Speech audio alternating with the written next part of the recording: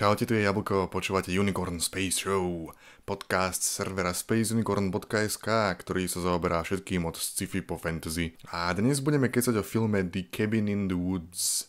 Filmy vedia byť intelektuálne stimulujúce a vedia byť zábavné, ale veľmi zriedkavo vedia byť tieto dve veci naraz. Tie inteligentné často vedia byť až vyčerpávajúce a tie zábavné sú často absolútne prázdne. Cabin in the Woods je jeden z tých malých zázrakov, ktoré dokážu byť inteligentné a zábavné zároveň. A dokážu prinútiť troch ľudí prehnane filozoficky debatovať o význame všetkého, čo sa deje. A ja sa priznám, že debaty ako táto sú dôvod, prečo som začal s týmto podcastom a budem veľmi rád, ak si to celé vypočujete. Takže nezdržujme to a poďme na Cabin in the Woods. Let's go!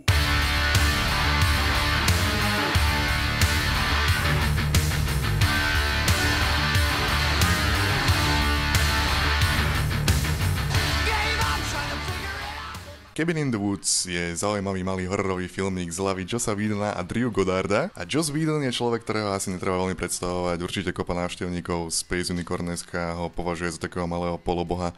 A Drew Goddard je človek, ktorý s Jossom Whedonom spolupracoval na mnohých z jeho shows. Písal, napísal kopu scenárov pre seriály Angel a Buffy a písal tiež, seri- písal tiež epizódy pre Lost alebo Alias. A je to človek, ktorý napísal film Cloverfield. A spolu spravili teraz Cabin in the Woods a čo je zaujímavé na tomto filme okrem mnohých iných vecí je ako trocha histórie. Možno viete a možno nie, že v Hollywoode často to funguje tak, že ľudia štúdio si kúpi nejaký scenár. Tieto scenáre často predávajú za 100 tisíce dolárov alebo milióny a často odpočívajú niekde na poličke odložené a nikdy nie sú vyprodukované a toto štúdio teraz prišlo o ťažké milióny. A potom sú prípady ako Cabin in the Woods, kde štúdio kúpi scenár, natočí film, celý je spracovaný a celý tento film je odložený niekam na poličku a odpočíva. A to bol prípad Cabin in the Woods Woods, kde najprv sa snažili ho skonvertovať do 3D, pretože to bolo veľmi in a neskôr to štúdio takmer skrachovalo a nebolo možné finančne podporiť tento film a nejakým spôsobom ho vydať a trvalo mu to 2 až 3 roky a dostalo sa to na povrch sveta asi 2 alebo 3 týždne pred tým, čo vyšiel Joseph Whedonov film Avengers. A čo je také celku zaujímavé, že jeden, jeden z hercov v Cabin in the Woods, Chris Hemsworth, sa medzičasom stal Thorom, čo dosť možno bol impuls k tomu, aby podporil štúdio, aby tento film naozaj vydalo. Dnes som tu ja, Jablko, a je tu so mnou Marcel, predstav sa. Čaute, ja som Marcel. A je tu Tomáš Samuel Corbo. A ideme sa rozprávať o... ideme sa rozprávať o Cabin in the Woods. Najprv si spravíme také malé kolečko. Ono, tento film je veľmi jednoduché ho nejakým spôsobom spojnúť. Nie takým spôsobom ako nejaký M. Night Shyamalanov film, kde by, že by na konci bol nejaký obrovský twist, tak to nefunguje, ale je tam kopa tém, kopa momentov, ktoré môžu pôsobiť prekvapivo a nechceme ich pokaziť. Takže najprv spravíme také kolečko, kde každý povieme, že čo sa nám na tom páčilo alebo tak ďalej a potom sa pustíme do spoilerov. OK, Marcel. Keď som prvýkrát tento, vidie, tento film videl, uh, bol som tak jemne a mierne prekvapený. Budem sa teraz veľmi snažiť neprezradiť nič z deja. To, čo robí tento film úplne unikátnym je práve to, ako sa ten film vyvíja a z traileru by mal každý asi pocit, že to bude ďalší trapný hororový film na štýl Texas Chainsaw Massacre. Aj alebo... keď ten trailer ukazuje nejaké také jemné sci-fi ukazuje niečo. zjemné sci-fi veci, ale stále sa to iba zdá, že to je možno niečo na štýl So, kde je to síce hororové, ale je tam, deje sa tam niečo iné, ale stále je to klasický hororový film. I keď aj myslím, že v jednej verzii traileru hovoria, že nie je to úplne to, čo očakávate, ale to hovoria už teraz v mnohých traileroch. Takže uh, ja som došiel do toho filmu s tým, že proste vedel som, že, že, že tam je produkcia a spolupráca Josa Whedona ktorý nie, nemá úplne očakávateľné výsledky, nevie, nevie, človek nevie, čo od neho čakať a práve tento film ma, ma veľmi prekvapil a určite je to jeden z top filmov tohto, roka, tohto roku, s tým, že na tomto zozname je u mňa aj Avengers, to znamená, že Joss Whedon má nejaké dvojité body u mňa, ale e, celkovo môžem povedať, že bez toho, že by som čokoľvek spoiloval, je to určite jeden z najunikátnejších hororových filmov, i keď to de facto ani horor nie je, ale je to určite jeden z najunikátnejších hororových filmov, čo som videl za posledných niekoľko rokov. To je taká horor komedy, to by som povedal. Prosím? Že, to je skôr taká horor komedy. Je to horor komedy, ale podľa mňa je to ešte skôr taká filozofická alebo diskutabilná na analýza hororových filmov ako tak. Ale zase to by nebol asi prvý počin uh, Holly, nie že Hollywoodu ako samotného, ale prvý počin uh, zanalizovať uh, hororové slasher movies a dať ich proste do nejaké, do ne- jedného filmu a poukázať na, te, na tie ich slabiny. To vlastne... A už to skúšal aj Scream. Aha. Avšak ten bol naozaj viac o tom, že povedal, že aha, toto sa deje v hororoch. Ale Scream to, A- Scream to proste, on len akože, on robil takú, takú peknú, peknú vec, čo sa vlastne po anglicky, že push the envelope. Či vlastne on sa snažil tu, ten, ten hororový žáner skôr ďalej potlačiť tým, že vlastne poukazoval niektoré stereotypické časti a slasher movies a sa snažil to potlačiť a proste poukázať, že aj taký proste aj ten stereotyp môže byť zaujímavý v tom, ako keď sa na ňo poukáže. No ale potom, potom prišli uh, filmy ako bol, uh, teraz mi musíš pomôcť. Scary movie? Scary Movies, čiže 1, 2, 3, 4, ktoré v podstate už úplne robili, akože si z toho robili... paródiu z toho, si robili prdel z toho. čistá paródia. Oni si robili prdel zo Scream, takže si vlastne robili prdel z, tej, z, toho, z toho meta komentára na horory. No, Určite, ale tak oni to potom naberali aj ďalšie filmy, ako proste v, jednotke to bol, to bol Matrix a všetky takéto proste uh, veľké filmové hollywoodské počiny, ktoré oni chceli vlastne tiež tak akože zhodiť, ale na, zároveň chceli ich aj pribrať do toho celého žánru uh, nezmyslu a stereotypu. No ale vráťme sa k tomu Kevin in the Woods. Čo si myslíš o tomto filme? Um, osobné, ja som Josa Whedona nepoznal a ja som išiel do Cabin in the Woods. Uh, ja, ale vlastne ja som, ja som taký, akože viac možno zameraný na indie, indie filmy a Joss Whedon a, a The Avengers bol pre mňa taký, taký, taký veľký vstup do toho sveta Jossa Whedona a To Cabin bol in the naozaj veľký to vstup, to bol- tretí to bol- najúspešnejší film histórie.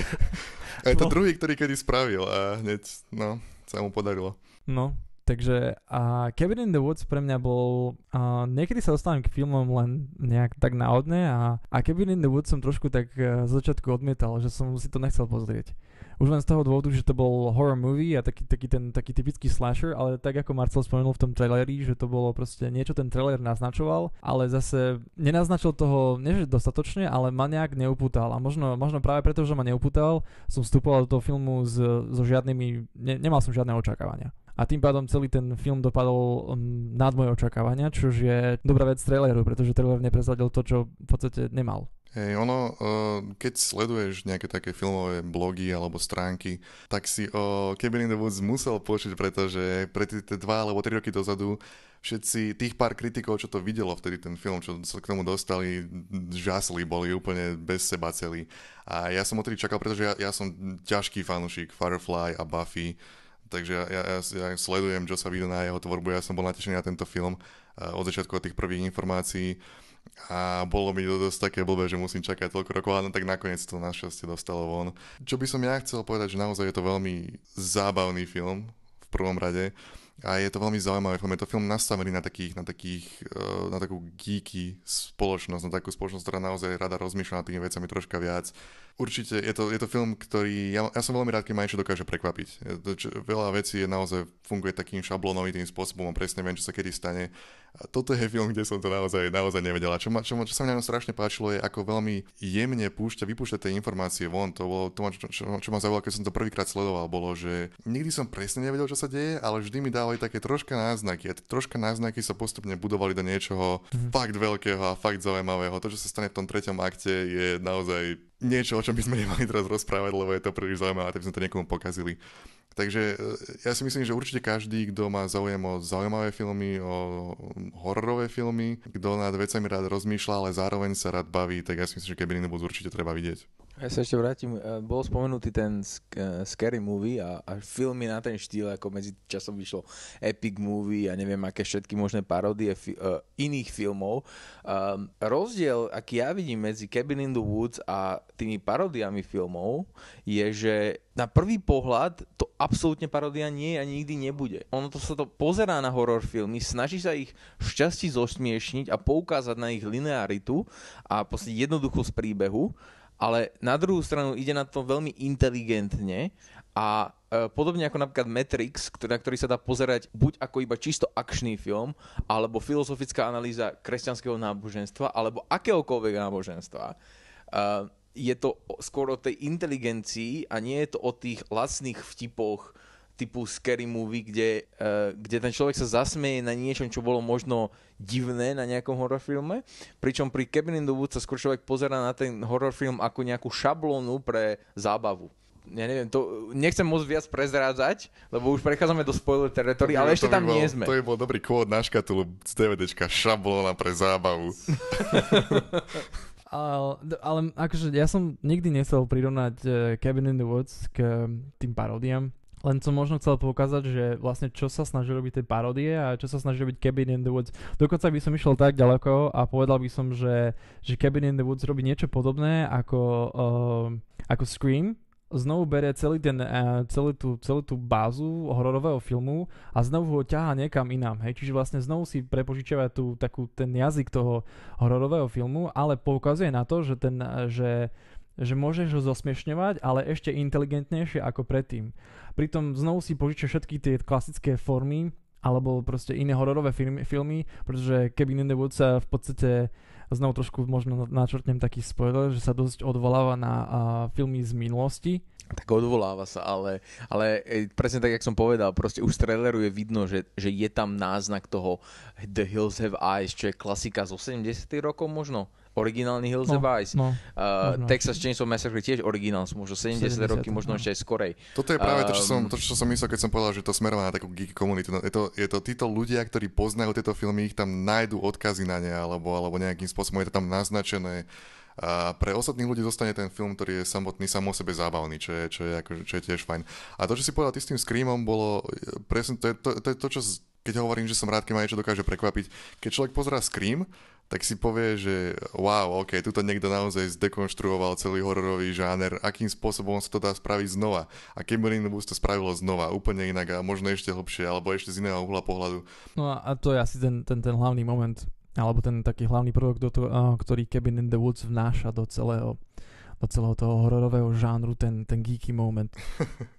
je, to, je to veľmi podobné ako napríklad uh, Scott Pilgrim alebo, no. alebo celková tvorba režisera Edgara Wrighta jo, Shaun of the Dead a Hot Fuzz, to sú, to, sú, to sú filmy, ktoré vyslovene sú z istého žánru, ale zároveň ho parodujú.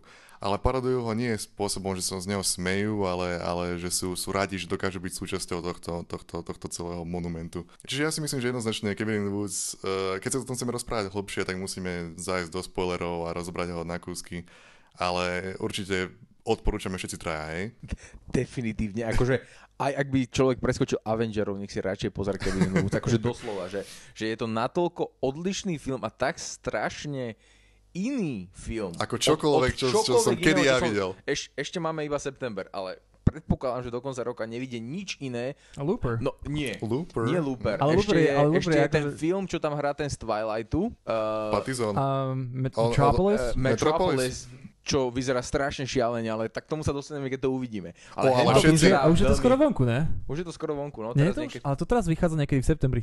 Teraz niekedy, no. A inak ale padol tu Looper a kto nemá no, Looper na svojom meráčiku očakávaných ja, filmov... Ja mám, ale bojím sa, že Looper neprekoná v unikátnosti Cabin in the Woods. O, to, ale... to, to, je jasné, ale Ryan Johnson, režisér filmu Looper, je jeden z mojich absolútnych obľúbencov. On je, on, je, on je taký, on je moderný nový režisér, ktorý kráča v šlapajách uh, Hitchcocka, tých, tých starých on presne prebral ten ich štýl a pokračuje v, v tom ďalej a je v tom naozaj dobrý. Je to skvelý v dialogu, skvelý v akcii a ja som strašne natešený na film Looper. No.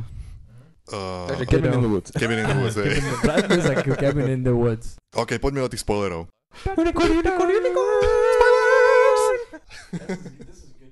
No ja jediné, čo môžem povedať je, že ja nechápem, ako sa Joseph Whedonovi podarilo zohnať Sigourney Weaver, úplne na koniec filmu. To Proste to je klasická referencia. Ona, ona je známa z Alienu. Ja si ju veľmi dobre pamätám z Ghostbusters, neviem prečo, ale, ale ona je klasická proste vlasy, to taká ženská, vlasy. ktorá sa hodí na vždy rolu nejakej takej dominantnej... Pérez chick. Ale videl si, videl si, videl si, videli ste Paul? Paul? Uh, film Paul. Aha. Počkaj. Aha. Spoilers Alien, pre film Alien, Paul, Alien, ak ste nevideli Alien. Paul je, je presne to, čo zostane na konci filmu Paul, ako zostane v Kevin in the Woods. Uh, to, že prišla Sigourney Weaver a vysvetlila, čo sa vlastne deje a tak ďalej, to bol jeden, jeden z momentov, ja, pr- prvý môj moment, keď som spadal, bol, že Wá! a druhý bol, a Paul, toto isté sa už stalo. To bol jediný moment, ktorý som si povedal, že toto som už niekedy videl z, to, z, tohto, z tohto filmu. Ale áno, pokračuj, o Sigourney. No nič, proste to som bol úplne šokovaný, ale ako keď už teraz môžem hovoriť v zmysle spoilerov, ten Jop. celý film proste úplne kompletne mení to, alebo hovorí o, o hororovom žánri ako takom, ho bere ako úplnú šablonu proste.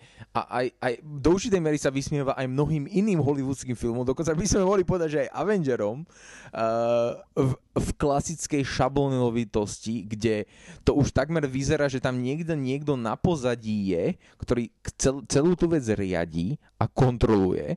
A všetky tie postavy proste vedie k nejakému koncu, kde sa chce dostať. Hey, okay, myslím, že už môžeme teraz povedať, že ten film sa odohráva na dvoch úrovniach, kde jedna úroveň je tá klasická cabin in the woods, do ktorej prídu študenti a evidentne jasné, že všetci budú vyvraždení.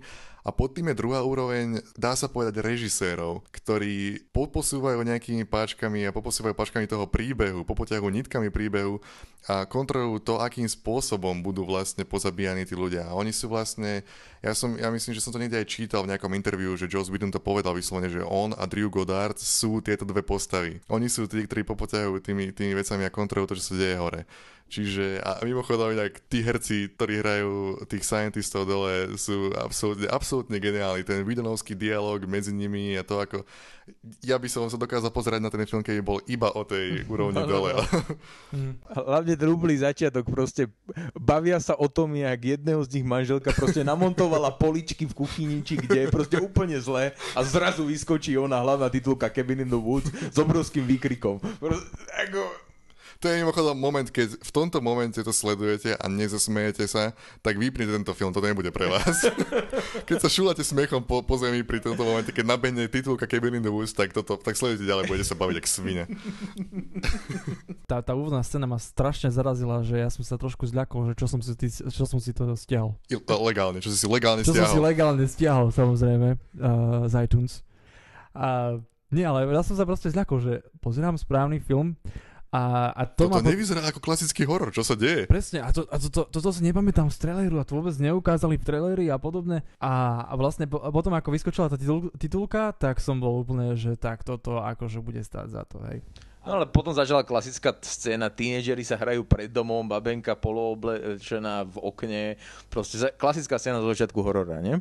Ale už vtedy sú tam prisypávané také, také prvky nejakej zvláštnosti, kde príde Thor, a, a, a, je a, a nemá tam kladivo. A je, a je, Kde je? Hej, kde má vlasy? Kde má vlasy? Blond, a nie, nie, hej, nemá vlasy, ale, ale je predstavený ako, že toto bude ten, ten, ten jok, ten namakaný mm. futbalista a tak ďalej. A potom, a v dialogu keď počuješ, ako sa rozpráva, začne sa rozprávať o tých knihách. Odporúča jej, e, tej hlavnej hrdinke knihu od iného autora pre vysokú školu a vtedy je už jasne dané, že hej, on není iba úplný somár, on má nejaké mozgové, mozgovú kapacitu.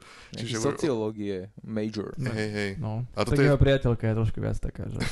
Mm-mm. Ale to je presne, to je, to je znova to, áno, je, lenže dozvieme sa neskôr vo filme, že, tak, že je, príde ako blondína klasická, ale neskôr vo filme je dané najavo, že je taká troška tupejšia kvôli tomu, že si namalovala tie vlasy a oni tam primiešali no, niečo, čo spomaluje kognitívne schopnosti. Áno, vlastne ona blondíka nikdy nebola. Pozde, úplne myslím, že to je jeden z prvých dialogov nie tých režisérových postav, tých, tých tínežerov v podstate, je, že preboha, ty si nafarbila na vlasy, vlasy na blond? Ona nie je tupá blondína, ona sa doslovene stala tupou, pretože si prefarbila vlasy na blond. Áno, áno. Nejakou chemikáliou, ktorú tí režiséri troška primiešali niečím, aby, aby to... Ale to je presne to, akým spôsobom podkopáva ten hororový žánr celý čas tento film. A skvelý bol tiež ten moment, kde začali naháňať tí zombíci a prvá, prvá myšlenka bola, musíme sa všetci držať spolu, zabarikadujeme budovy v miestnosti, budeme sa držať pokope a potom oni vypustia ten, ten, ten, ten plyn, ktorý, ktorý ovplyvní zmýšľanie na štýl, že eh, Hemsworth povie, e, e, nie, musíme sa rozdeliť, we will cover more ground, pokrieme viac, väčší priestor, čo je úplná kravina, lebo nič nehľadajú, nejaký priestor chcú pokrývať. A vtedy Stoner Guy, ktorého sme ešte nespomenuli, uh, postava, z ktorého sa asi každý taký, taký, taký troška geeky človek bude identifikovať automaticky, ktorý dojde nahulený a dáva vtipy jeden za druhým, uh, zahlási, že fakt? fakt sa musíme rozdeliť. Dáva to zmysel, to nejaký, A je to presne komentár na všetky tie situácie, ktoré sa dejú v hororoch, kde rozhodnú sa spraviť niečo, čo by si ty nikdy nespravil. A tuto je to, tuto je to posunutí sú do toho tým štýlom, že hej, pustíme vám tam plyn. A rovnako ako to, kde hej, toto je ten správny moment mať sex a toto je to správne miesto, lebo tam vypustili zrovna feromóny a ešte, po, ešte posvetli, svetlo dali také, aby, aby No, pôsobilo ja, som, extra. ja som len čakal, že vybehne Edward z Twilightu a ukáže onú svoju diamantovú hru, takže presne taká scénka tam bola v originál Twilighte. Takže uh, podľa, mňa, podľa mňa na toto chcel aj troška odkázať. Na Twilight? Mm, Ja si myslím, že áno. A... A... Ja si skôr myslím, že to bol odkaz na to, ako často v tých filmoch sa de, dejú úplne šalenosti, úplne kraviny a potom však- si, a potom si oni práve. povedia, a potom si oni Však- povedia, Ale že... však práve. A potom si oni Bohužiaľ povedia, sa, že... počkaj, bohužiaľ sa priznám k tomu, že som videl prvý Twilight. Ja tiež? A tam je to, tam táto scénka je tam proste zrazu zasvietí na jedno miesto svetlo a on proste sa začne, žia, začne žiariť. To je proste, lietať. Dalo by sa, dalo by sa, pri prvom Twilighte podľa mňa by sa to dalo, keby chceš brať štýlom takým, že režisérka prvého Twilightu vedela, čo robí a troška to nadniesla celé. Dobre, ono by sa dalo brať, že, že ja to beriem s nadladom a ja si z toho robím sama ako režisérka trošku prdel. Dobre, ja si aj skôr myslím, že toto bol, bol, bol uh, odkaz na to, kde stanú sa neskutočné šialenosti v hororových filmoch a v nasledujúcej scéne, že ej, poďme jebať. A, a, a, nerozmýšľaš nad tým, lebo to, to je to, čo sa deje v hororových filmoch. A toto to bolo presne to isté. A je, to, je, je geniálne, ako, ako postupne oni, e, počas, ako film nasleduje, ako tí, tí študenti spadajú stále viac a viac do tých svojich škatuliek kde neskôr vidíš toho Holdena, ktorý je ako, ako, ako sympatik, ako slušný chlapec. St- vidíš ho neskôr, ako si nasadí okuliare a potom ich má stále na sebe a ako, zač- ako začne vysvetľovať, že pozná latinčinu. A blondína stále tam pre- predvádza nejaké tance a je stále taká viacej uh, Sassy. sassy. Uvoľnená. Ako, je, hej, snaží sa- uvoľnená, hej, je tam ten erotický potom stále, hej. Uh, Hemsworth stále je viacej a viacej typický svalovec, typický nadutý futbalista. A Marty, postava toho, toho zhulen, zhuleného človeka, neustále na to všetko komentuje, že hej, ja ho poznám, ako vyzerá, keď je ožratý, ale toto nerobí, keď je ožratý. A ale, ale aj vtedy hovoria v podstate aj tí, akoby tí režiséri, alebo tí, čo tam celé kontrolujú, oni sú celý čas ako keby tí, ktorí ich menia cez tie plyny alebo cez čokoľvek na tie stereotypné postavy. Len na, na Margo toho Martyho som chcel spomenúť, že, že Marty uh, pôsobí pôsobil celý čas pre mňa ako taký, taký dobrý do filmu zapracovaný komentár toho, čo sa deje na okol. Čiže vlastne... On je, on je presne ten človek, ktorý ako, ako my keď tu sedíme a začneme analyzovať nejaký film, on to robí priamo real time v tom, čo sa práve deje. On je ten, on je ten meta element toho filmu a je priamo vložený do neho. Presne, presne tak. A to vlastne, to sa mi strašne páči, že on, keby si ho napríklad tam mať vytrhol, tak máš klasický horor, ale tým, že ho tam sadíš, je to tak, také ako keby vystrnutá alebo, alebo taká vnorená postava, ktorá v podstate tam ako keby nepatrila v, mo- v nejakých momentoch. Jedno, jedno ale zaujímavé také čítanie toho filmu by, by ale mohlo byť, že keďže on je ten meta element a on je zodpovedný za to, na konci on odmietne zachrániť celú planetu a nechá, nechá zničiť všetko. A môže to byť čítané takým spôsobom, ako že takáto veľmi intelektualizácia a analýza filmov je síce fajn, ale v konečnom dôsledku to troška ničí ten, ten emocionálny vplyv, ktorý to na teba môže mať. Čiže on vlastne tou samotnou meta-analýzou konštantnou toho filmu v ňom zničil celý žáner. Čiže môžeš Mm. povedať, že keď to takto strašne rozoberáš, troška si to kazíš. Mm. Je taký, taký, taký zaujímavý komentár, ktorý možno robia, možno nerobia No, filmári. samozrejme, ten, tá Cabin in the Woods vlastne je deštrukcia sama o sebe. Veď vlastne o čom je posledná scéna? Posledná scéna je o, proste o zničení zeme, zeme, ktorá v podstate aj prišla s celým tým hororovým žánrom. Čiže vlastne samotný horor ničí samotnú, samého je, seba. Hej, je tam tá, tá myšlienka e, na konci, ktorá je podaná, že ak je naša spoločnosť taká, že musíme konštantne vidieť, ako sa navzájom týrame a ničíme a deštruujeme, možno spoločnosť nestojí za to, aby sme ju mali. Mhm. A možno by mal prísť niekto iný a potom bam, príde ruka, všetko zničí. A to sa znova dá čítať ako buď e, ta, takto, ako na tej prvotnej úrovni, že, že vyslovene hovorí o tej spoločnosti, ale zároveň to môže byť, že to hovorí o tom hororovom žánri. Mhm. A znova to môže byť z mnohých, z mnohých úrovní, ako napríklad z tej, že môj názor na... Predpokladám, že kopa ľudí si povie, že je to strašná blbosť, že vybrali... Je tam scéna, kde sú v basemente, kde sú, kde Mhm. sú pod, pod zemou a každý z nich drží nejaký predmet a neskôr vysvetne, že každý z tých predmetov je že je to vlastne schop, možnosť, ako si oni môžu vybrať svoju vlastnú smrť. Mm-hmm. Každý z tých predmetov na nich vypustí nejaké, nejaké monštrum alebo niečo zničujúce. A zase je to skvelý komentár na hororové filmy, kde niekto niečo uchopí a strašne sa to a potom vysloví nejaké slova a tej sa mm-hmm. posere.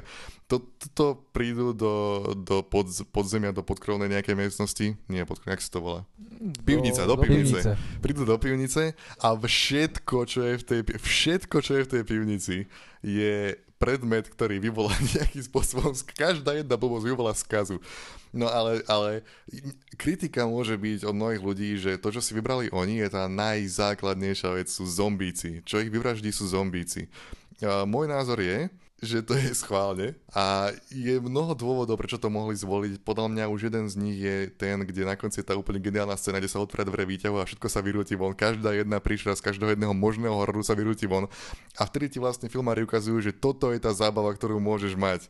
Uh, vy ste zvyknutí na, na, na, na tieto klasické monštra ako zombíko, ale keď nám necháte voľnú ruku a nám ako filmárom, toto je to, čo môžete mať. No, je, hej, áno, presne tak. Uh Súhlasím s tebou. Čiže oni vlastne a... chcú, že hej, videli sme na konci, keď zničia celý hororový žáner, keď, keď tá ruka padne a zničí horory, ako ich poznáme. Pretože sa dá povedať, že tí žmarty a neviem, ako sa volá tá hlavná, eh, ale to je jedno. Uh, oni vlastne sa... Dana. Čo, čo, Dana. Oni mm. sa snažia utiecť z toho, z ich situácie a ich situácia je horor.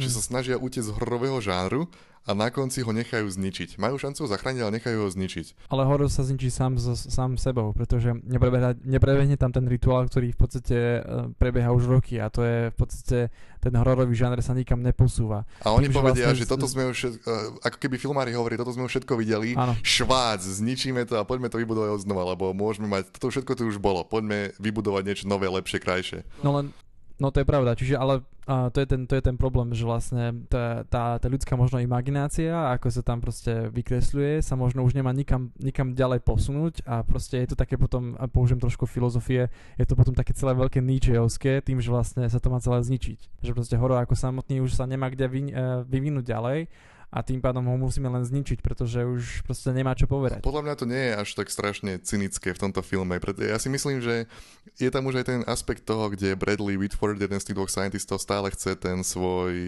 merman, malý morský víl. chce, chce malého morského víla, film, ktorý všetkých vyvraždí a je to scéna, kde je strašne smutný, lebo mu to, akým, lebo mu to vlastne bolo nejakým spôsobom zamietnuté a ten druhý kamarát tlapka po pleci, že ne, neboj sa, príde aj na to. A prípada mi to ako scéna, ktorú často možno filmári majú vo svojich životoch, kde, kde si povedia, že ja mám geniálny nápad, mám geniálny plán, ale nikto mi nechce ma v tom podporiť, nedajú mi na to peniaze, nedajú mi možnosť, ne, nepustia ma k tomu. A podľa mňa je to možno, tieto, tieto scény sú, vychádzajú z frustrácie týchto filmárov a možno hovoria, že ľudia, my vám vieme poskytnúť viac a vieme vám ukázať niečo lepšie, len nám naozaj musíte dať šancu na to, aby sme, aby sme to...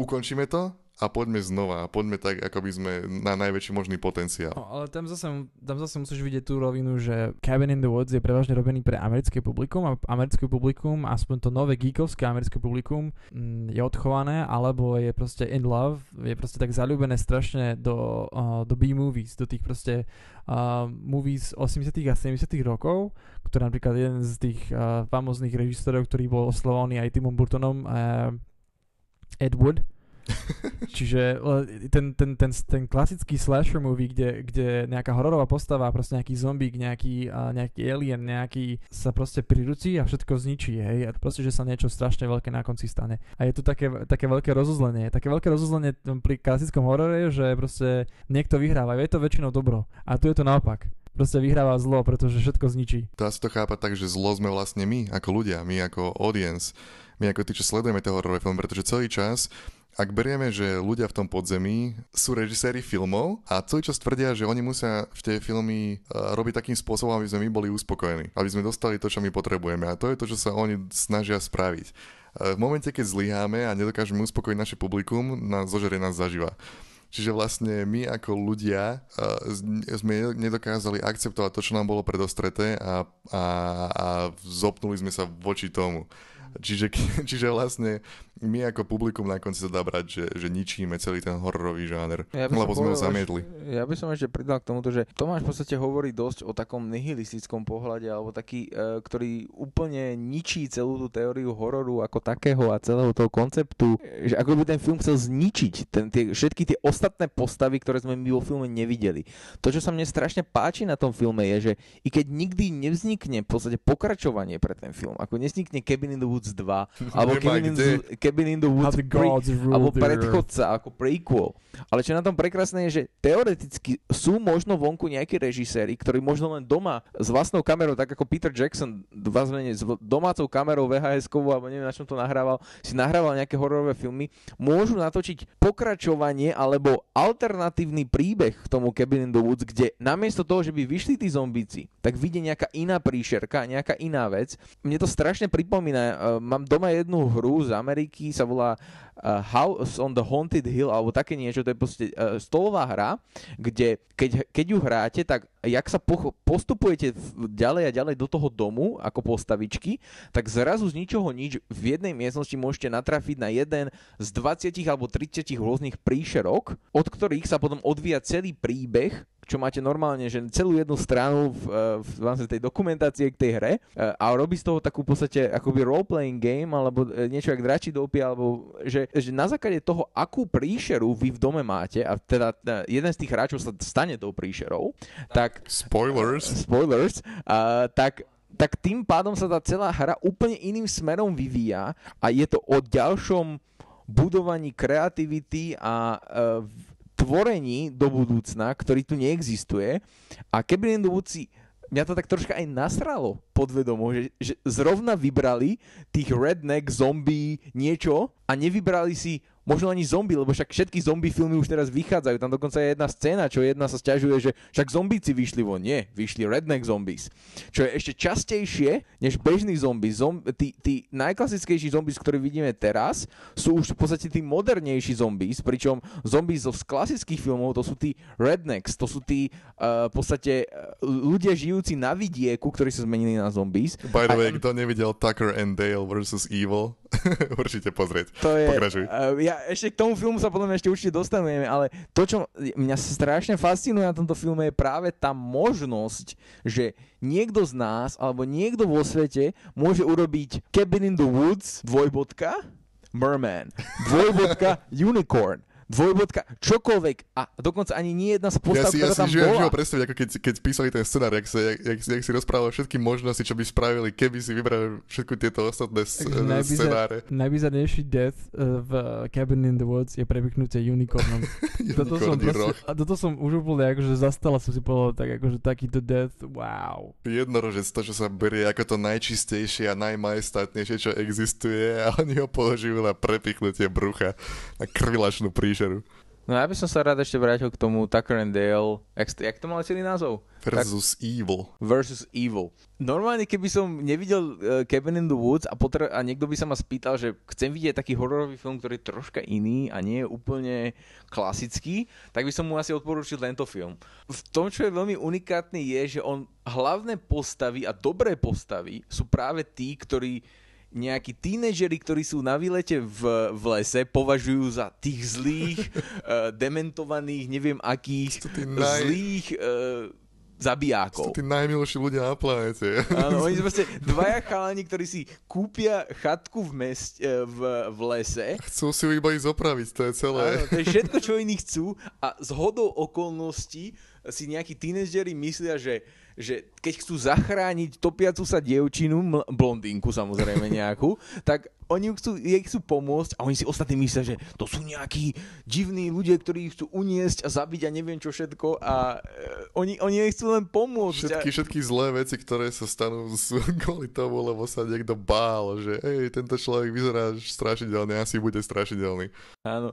Ako, nechceme spo- zospojlovať aj tento film, i keď sme v spoilerovej časti, ale ako nech choďte si ho pozrieť, možno jeden deň spravíme aj ohľadom tohto podcast, ale je to podobne dekonštruktívne v rámci hororovému, uh, hororovému žánru. A čo sa Tucker and Dale týka, tak ešte je tam ďalšie spojitko s Whedonom a to je Ellen Tudyk, ktorý hrá Washa vo Firefly.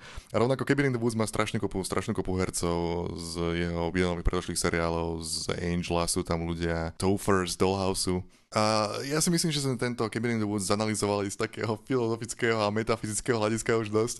Ja by som nechcel, aby sme prišli o, o ten fakt, že je to naozaj zábavný a vtipný a naozaj netradičný film. Uh, dajte, ne, dajte nejakých zopár takých fakt scén, ktoré vám...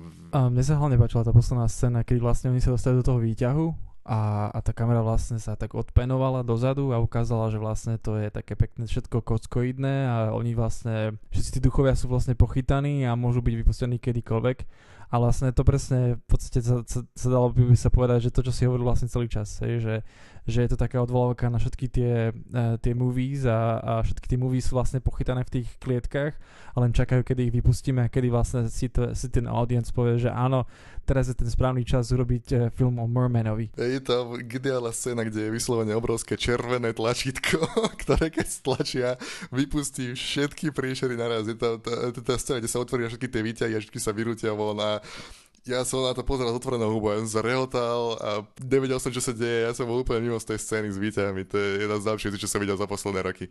A tiež rovnako to, čo sa odohráva v Japonsku, kde pretransformujú to najväčšie evil na Happy Frog. Ako no. už len kvôli tomu sa to oplatí vidieť. Pre mňa, jak sa volal ten hulič najväčší? Marty. Marty.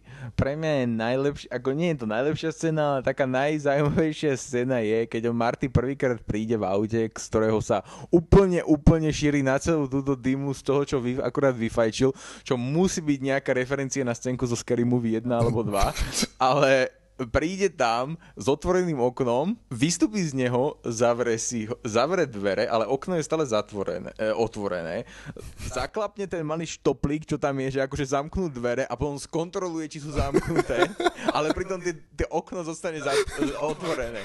To je proste scénka. A celý čas rozpráva o tom, ako totálne zúhleného človeka nikdy neodstavia policajti, pretože on vidí viac ako oni.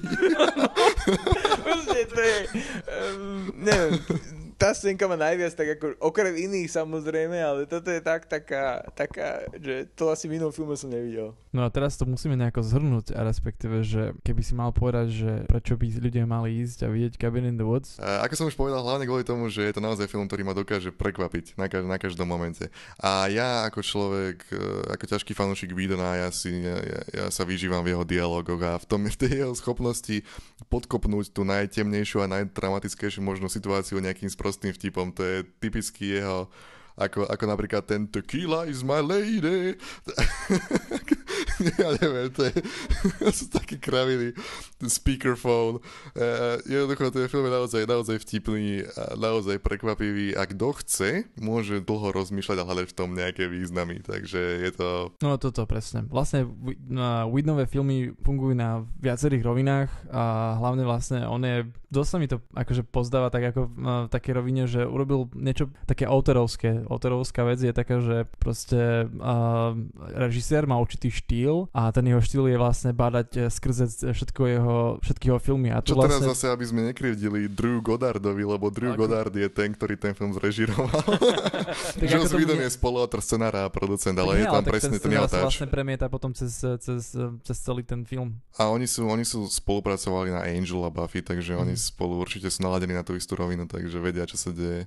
A toto celkovo, e, tá, tá idea, že absolútny evil je niečo, čo je kontrolované nejakou rovinou e, politickou alebo, alebo nejakého parlamentu alebo nejakej spoločnosti, je niečo, čo je ako vystrihnuté z neskorších sérií seriálu Angel Takže jednoznačne a samozrejme Buffy a Angel oba sú o celkovo o stávaní hororu na, na, jeho, na vlastnú hlavu, takže... A čo by aj Dollhouse, v podstate Dollhouse je tiež ďalšia, v o kontrole a o vymieňaní mozgov a hey. ako môžeš kontrolovať ľudí, ale to zase Dollhouse, to môžeme zase rozoberať ďalší hodinu a pol, takže... Hej, Vidona si necháme na inokedy, nech ho rozoberieme. OK, tak ja si myslím, že by sme to mali, nie? Myslím, že Cabin in the Woods sme zvládli a uvidíme sa na budúce. Ja som Jablko. Marcel. Korbo. Goodbye.